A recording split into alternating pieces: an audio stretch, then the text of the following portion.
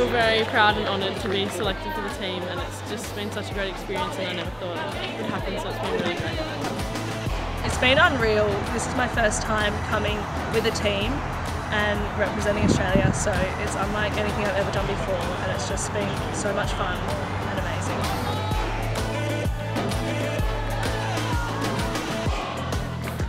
coming into the season, we didn't really know what was going to happen with Kenya and those sort of things. So yeah, just, I'm really grateful for the opportunity to be able to put put this tracksuit on, put this singlet on, and get get some races in. We can all say that that we're happy that we were able to rep it together yeah. on our home ground as well. And get to wear the uniform. Yeah.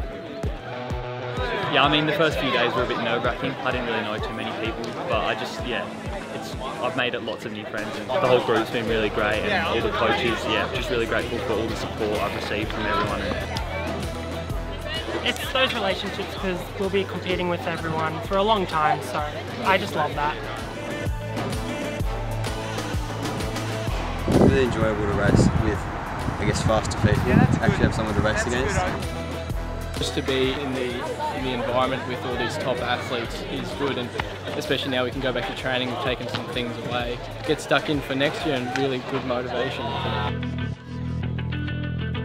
I'll have my eyes on World Unis next year, or Commonwealth Games even. So that's what I'll be hunting for.